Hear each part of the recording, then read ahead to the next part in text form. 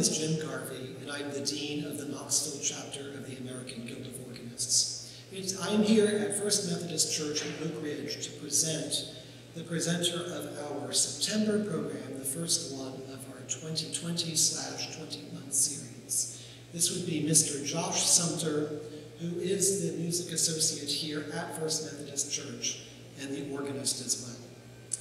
Josh is someone who is very much known to us in Chapter of the AGO. He first began to play on the annual student recital when he was still in high school. Thereafter, he pursued his music studies at Maryville College, getting a bachelor's with Ashley Burrell there, and later getting his master's degree in organ performance from the University of Tennessee under E.D. Johnson.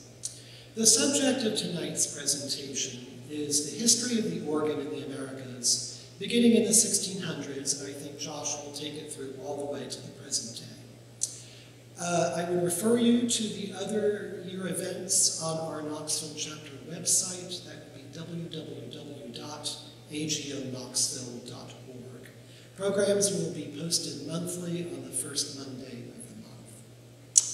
So without further ado, I would give the floor to Josh Sumter, or shall I say, the virtual platform. Hi, and welcome to AGO Knoxville's first online presentation.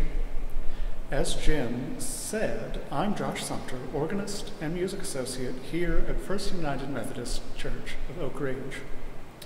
I will be presenting a paper I wrote during my time at UT. It will cover the development of the organ in the United States from before its founding through the 20th century. I hope you enjoyed the program.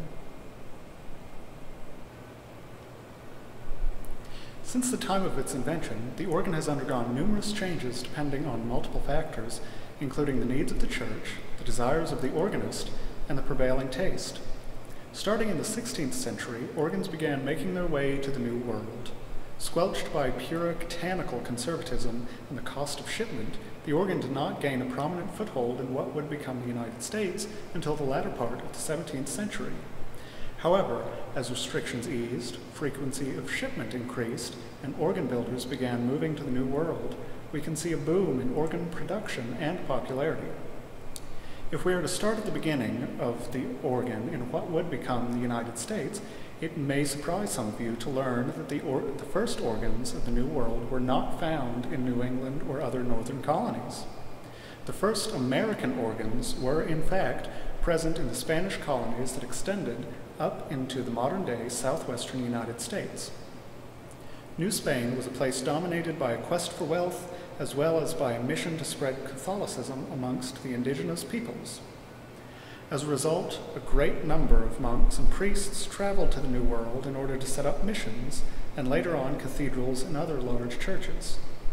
Many of the missions that extended up into present US only held barrel organs, organs that were operated by a crank very similar to a music box.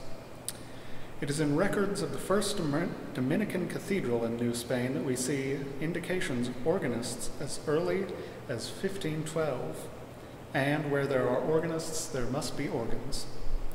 That was certainly true in Mexico City, where remnants and even mostly whole organs can be found from this period. However, our focus is on the development of the organ in what would become the United States. According to Juan de Torquemada, in a correspondence from 1712, there were organs installed in nearly all the churches, this holds to reason, since as more colonists arrived from Spain and Portugal, they would want the comforts of home. So, in order to understand the organs of New Spain, one need only look to the source of their inspiration, the Iberian Peninsula. Organs of the 17th and 18th century in Spain, though distinct, exhibited influences of the Dutch, French, and Italian schools of that time, perhaps due to their Catholic predilections. Modest one-manual instruments were the most common. These instruments of New Spain generally included a few principals, flutes, and mutations.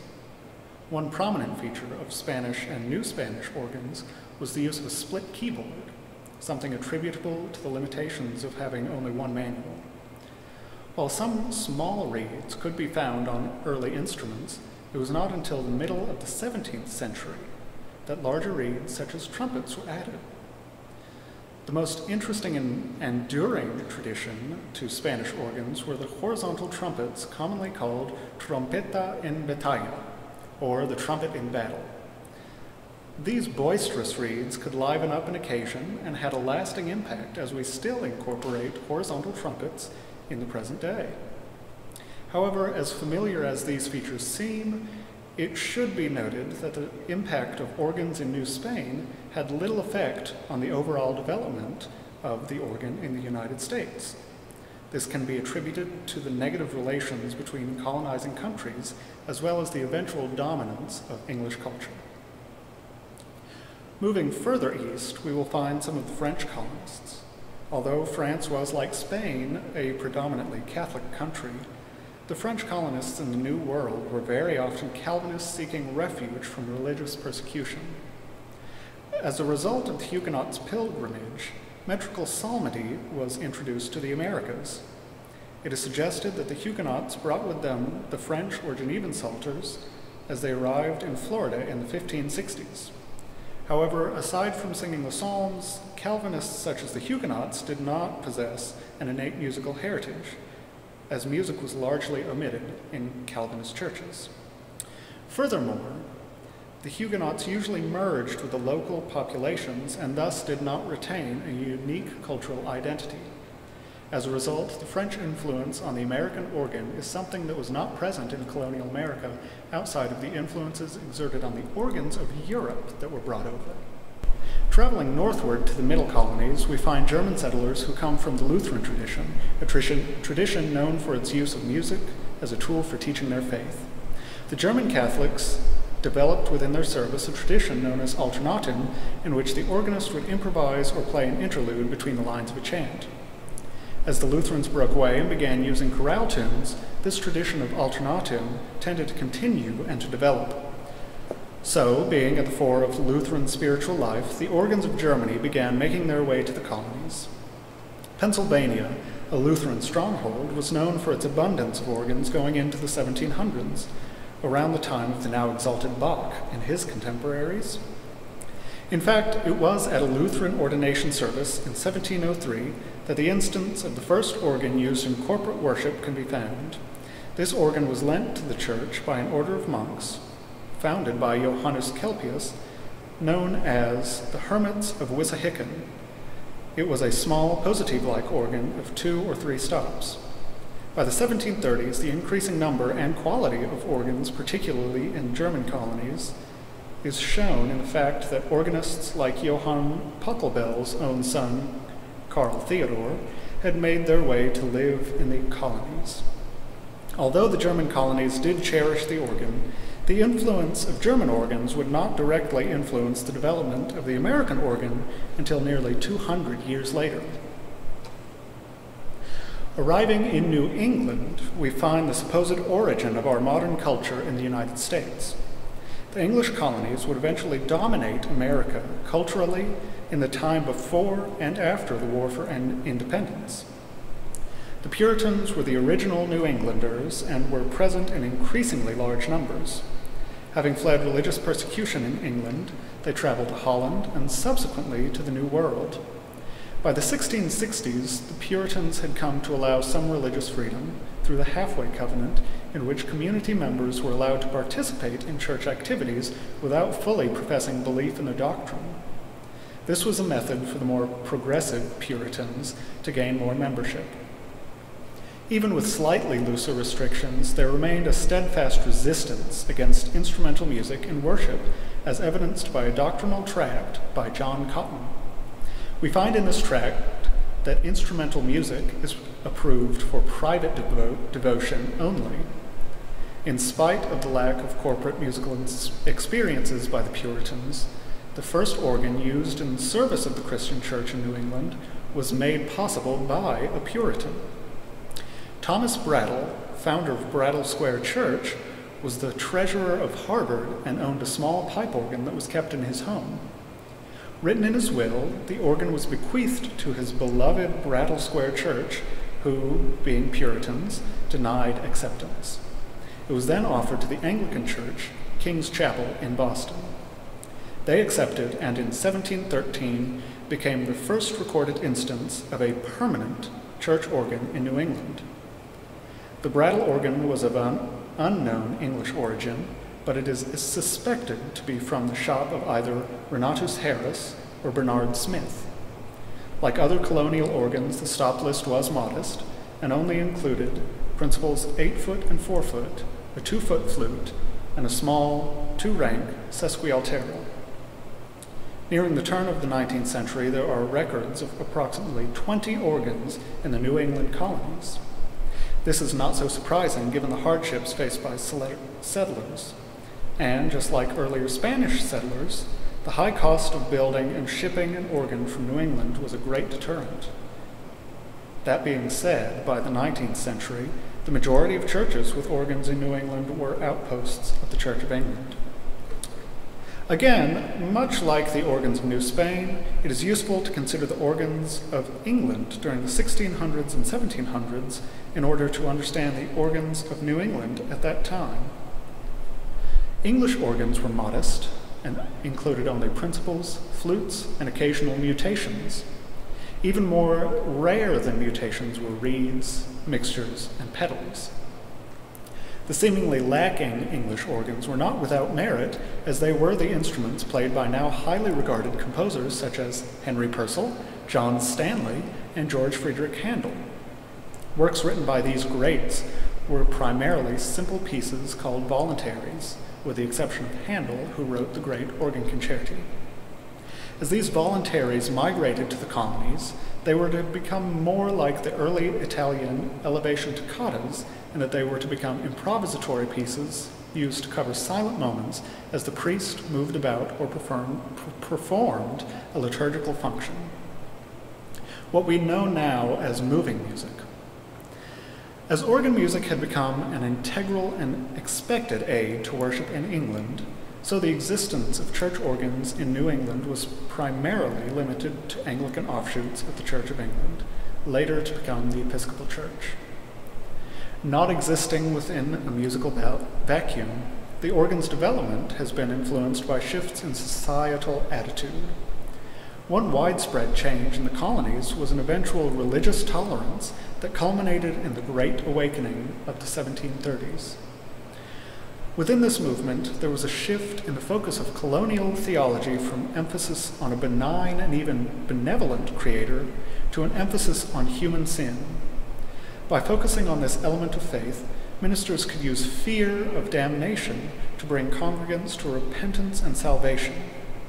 This tactic was not without consequence, as an emotional response was deemed increasingly appropriate for a true Christian experience. Music, being considered a purveyor of emotion, even by ancient Greek philosophers, would eventually become a more attractive method of reaching emotional fervor this unintended result of the Great Awakening was aided by the ideals and tastes of the subsequent Romantic era. During this time, instrumental music would flourish as the finite power of spoken word was diminished in lieu of the mysterious and self prescribed meaning of the music. Thanks to an emphasis on evocative instrumental music, the organ would soon dominate the musical landscape of the American church. Proceeding into the 19th century, changing attitudes toward music would necessitate changes to the organ that would never be forgotten. In the de- decades preceding the turn of this century, organs in America were mostly fairly modest instruments that exerted primarily an English influence. However, due to an influx of immigrants into the newly minted United States, different tastes regarding music and organs were being injected into the once homogeneous musical landscape. Since there was an increasing abundance of German settlers, organs in the style began making appearances. This style helped introduce things we take for granted, including pedal boards, more mutations, and mixtures, as well as some reeds. Increased immigration, along with indus- industrialization of the Victorian era, would quickly lead to an explosion in the number and types of organs being produced in the newly created United States. Following economic procedure, as the su- supply of organs increased, the cost was reduced. So, larger organs were be- beginning to be installed across this new nation. Not all churches could afford these new large instruments, though. Smaller and more rural congregations relied heavily upon reed organ or harmonium that was then being produced in Europe. Although the harmonium would become a symbol of a poor church, in the US, many fine organists were known to have composed for the instrument, including Theodore Dubois, Alexandre Guilmant, Louis Vierne, and César Franck. In fact, Franck's L'Organiste has almost become canon in pedagogical organ repertoire. Unsurprisingly, the US inherited the European harmonium and began producing its own version. Henry Mason and Emmons Hamlin improved on the design and produced their own cabinet organ. Later, the Estey Organ Company in Vermont gained widespread popularity for their reed organs that were soon used in churches and in homes. This acclaim may have been spurred on by their production of portable pump organs that were often used by churches for revivals and picnics. It is also known that they were used during the devotional times on the field during the Civil War. Whatever the reason, for their success. The makers of reed organs in the U.S. created a proclivity for organ music in the church that had not been seen since the flourishing of Catholic churches in the Spanish colonies. As the desire for new organs grew, so did the production of pipe organs for those churches with the monetary means. Stalled by the Civil War, organ building began to flourish in the United States by the end of the 19th century. Builders such as David Tannenberg and Johann Klemm brought more German styles to the table. William Goodrich founded the Boston School of Organ Building and influenced Elias and George Hook of Hook and Hastings. Matthias Peter Moeller, a Dutch immigrant, moved to Hagerstown, Maryland in 1880 and would eventually design organs that would become known as the American classic design, much like the one you see right behind me. Following the growth of organ production, the organ recital made its debut in the United States. In the late 19th century, thanks primarily to Dudley Buck, organ recitals became more common. Buck was also greatly responsible for the founding of the American Guild of Organists in 1896, and thanks to scholarship by him and Lynnwood Farnam, an interest in music of the earlier masters was cultivated in the U.S. There was now a buzz in the organ world that would result in a flowering of organ building and organ repertoire. Proceeding from the 19th century into the 20th century, there is a move toward the orchestral style in which the organ is meant to imitate the sounds of an orchestra. Thanks to the Romantic era, music was becoming increasingly programmatic, so organists wanted instruments that could fulfill the duties of imitation and emotion. Although the early 20th century was a pivotal time for the organ, music's progress left the church and now resided more in the concert hall. This created an environment in which the church organ was now being required to compete with the orchestras in silent film accompaniment. Robert Hope Jones, noted English inventor and organ builder, immigrated to the United States in 1903 and brought with him a wealth of inventive ideas for organ building. Hope Jones was a proponent in the alteration of organ building that led to the widespread, widespread use of swell boxes and shutters, electro-pneumatic consoles, pistons, and some new pipe designs. It is worthy to note that many of these new pipe designs were primarily used in the burgeoning field of theater organs rather than church organs. The combined influence of a variety of organ styles and musical traditions would lead to what we know as the American Symphonic or orchestral organ. Ernest Martin Skinner is hailed as the epitome of this orchestral style and was active in the decades surrounding the turn of the 20th century. The organs of Skinner's day were influenced by the great organists of Romantic era Europe. So, building upon the traditions of figures such as Max Reger, César Franck, Charles Marie Widor, and Cavaillé-Coll, the American organ would set out to produce organs that would allow one man to become an entire orchestra. Organ builders in this tradition began excluding mutations and mixtures from their stop lists. In fact, John T. Austin of Austin Organ Company stated he did not include such stops because it is an artificial method of producing brightness and clarity, something best left to a variety of string stops, as in the orchestra. Ernest Skinner did not, however, agree. As time went on, he felt that mutations and mixtures provided a tonal depth and character that was lacking without them. A zenith of this style of organ, built by George S. Hutchings, is the Newberry organ found in Yale's Woolsey Hall. According to detailed specifications, none of the mixtures now found on the organ are original. They were added later by Ernest Skinner. The result of differing and converging styles in the melting pot of America was the American orchestral organ. These organs possessed an increased number of stops and divisions, electrum, pneumatic action, more pistons, and concave pedals. Developing concurrently with the American orchestral organ, there were organs that, in a real sense, were meant to replace the orchestra. The theater organ is a development in the organ world that is quite unique to the United States. Early examples of organs in theaters actually resemble the organs popular in churches. In fact, many of these organs were built by the same firms that built church organs during the early 20th century, including Kimball, Estey, Austin, Hinners, and Moeller. These straight organs were not necessarily popular with audiences. Musicologist Rick Altman cites two instances from the 1910s in which columnists called into question the organ's ability to effectively relate the music to the scenes unfolding on screen. The idea was that a specific connotation of reverence and religiosity was given to the organ, and that the organ was therefore unable to portray all the actions and emotions on screen. The instrument we have come to know as the theater organ was actually predated by a number of ingenious mechanical contraptions. Perhaps one of the most influential on the creation of the theater organ was the Wurlitzer piano orchestra.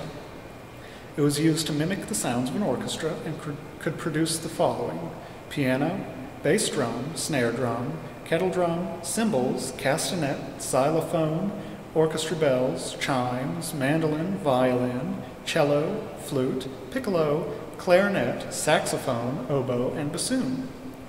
It is worth mentioning that the theater organ quickly replaced the orchestra because of its ability to quickly change moods and tunes based on the flexibility of having only one musician controlling the musical accompaniment. It was only by the advancements in organ technology mentioned previously, such as the balanced swell shoe, multiple enclosed divisions, electro-pneumatic action, and unification, that the theater organ was able to express a full enough range of emotion to accompany film. During the middle of the 20th century, there were those, like Skinner, who opposed the thick and often muddy sounds of the American orchestral style organs, likely because of their similarities to theater organs. However, the yearning for clarity by builders such as Holtkamp tended to swing too far in the other direction. It is in this spirit that we find the pure organs of the 20th century. Hearkening to the Orgelbewegung in Europe, some reformers in the United States decided that the American symphonic organs were too much of a departure from the organ's history. These reformers denounced eclecticism in favor of pure organs that mimicked only one style of building and were often based on one specific builder or even one organ. Arp Schnitger, a 17th century organ builder from Germany known for his colorful stops, was admired by many purists. The organs resulting from this movement exhibited mechanical and tracker, tracker actions, no pistons, and bright mixtures and thin reeds. A sound I would guess is far from Bach's preferred gravitas. Even further from Baroque ideals were the facades and pipe arrangements. The purest reform organs generally had an overall angular and thoroughly modern appearance to them, perhaps a way to keep these pure historical organs rooted in the modern day. Whatever the reason, it seems this movement, like, like the Orgelbewegung, was in part historically informed yet poorly executed. By the late 20th century, the dust had settled and true eclecticism won out. Organs that could play all manner of music, including historical literature, were being produced while retaining the modern conveniences such as pistons, light action, and concave pedal boards. Other organs were still being produced in the name of historical tradition, but now they began retaining the color and charm that were present in the Baroque era. Organ firms such as Fisk and Bedient began producing historically informed instruments that could compete with their eclectic counterparts. After a period of upheaval as certain organ schools jockeyed for dominance, the great melting pot of the United States combined the styles into the American classic organs we know today, organs that, for the most part, can do it all. I hope you enjoyed tonight's program. This is the first of eight online offerings planned for our chapter. You can find all our programs on our YouTube channel by going to our website, www.agoknoxville.org, and by clicking on the YouTube icon in the upper right hand corner. Programs may be accessed at the time of their debut and any time thereafter. Again, thank you for joining us.